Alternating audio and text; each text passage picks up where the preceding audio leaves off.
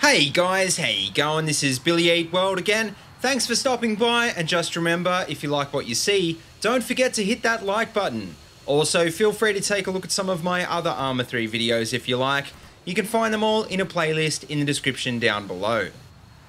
But anyway, today we're going to kick off my brand new upload schedule with what I like to call Tactical Tuesdays. And basically what this means is that every week on Tuesday, I'm going to be covering topics on various tactical shooters like Arma 3, Squad and Insurgency. As for what topics I'll be covering specifically, well, that's up to you guys, so if you've got an idea for an upcoming video, then let me know what you think in the comments section below. You can literally suggest anything you like, but just bear in mind I won't have time to check out every suggestion, so make sure you come up with something fun and unique. Now, for today's episode, we're going to be checking out my top 5 aircraft mods for Arma 3, which is a pretty important topic because the base game doesn't have a lot to choose from. Certain types of aircraft don't even exist in the vanilla game, and of course almost none of the vehicles are actually in use by present day forces. Fortunately, like with most things in Arma 3, if a vehicle isn't in the base game, well, you can just add it in free with a mod. And these mods, I think, are essential for anyone who plays this game, so if you haven't already tried them out, make sure you download them all. But anyway, to kick off, coming in at number 5 is the Boeing C-17 mod by Randomslap and Mukcep, which I think is a must-have if you're not using any other mods.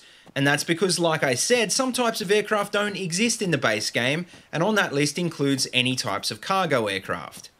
So as you can see, there's quite a few variants of the C-17 in this mod, including this Australian Air Force variant, which I often see flying over my own house.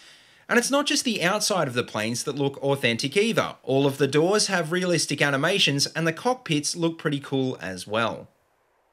Now, next on the list, coming in at number 4 is the Mission Enhanced Little Bird mod, which is also known as MELB. And basically, as you can see here, this mod adds in a number of Little Bird variants which have a lot more features than the Hummingbird and the Pawnee. The most important of these features are the ability to carry missiles and the ability to use countermeasures, which makes them a lot more effective in-game. So if you're a fan of the fast helis, then definitely give this mod a try, because I think all of these aircraft are a massive improvement on the base models. So coming in next at number 3 is the 3CB BAF vehicle pack, which includes a number of authentic helis used by the British Army. And unlike a lot of vehicle mods, you can tell that a lot of effort has been put into this one to make them look, feel and sound as realistic as possible. The reason for this is because as far as I know, the 3CB guys are pretty hardcore milsim players, so their mods are great for anyone looking to role-play British forces. So if you're interested in creating authentic British missions, or you're just looking for a bunch of new Blue BLUFOR units, then definitely check this one out.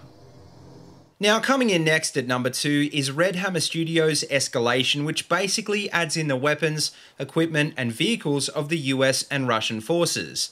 And as you can see here, part of this pack is a massive collection of aircraft, of which many have a range of different variants.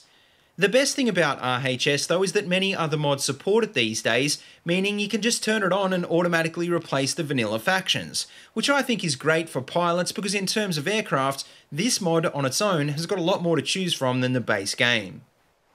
Now, before we get on to the number one spot on this list, I should give an honourable mention to the F-18 and Su-35 mods by John Spartan and Saul. These planes are two of the most recognisable fighters in the world, and I think it's crazy that none of the other packs on this list actually include them. Also, I probably should give a mention to the Sopwith Camel mod from Saberdust, which adds in a number of variants of this classic World War I plane. It's obviously not particularly effective on the modern battlefields, but it looks cool, and honestly, what's not to love about a classic old biplane? But finally, coming in at number one on this list is not surprisingly the CUP vehicle pack, which basically brings back a lot of the vehicles from Arma 2. And this includes many of the same sort of vehicles available in mods like RHS, as well as many others that I haven't really seen in other mods before. The vehicle list in this pack is massive, but the best thing is not the variety of vehicles, but how great they look and feel in game. In fact, I think they're so good that most of the time, if I have to choose between an RHS or a CUP vehicle, I'd say 9 times out of 10, I'm gonna pick the CUP version. But anyway, guys, that just about wraps up this video, so let me know what you think in the comment section below. Feel free to suggest a topic for next week's Tactical Tuesday, and as always, if you like what you see, don't forget to like, comment, and subscribe.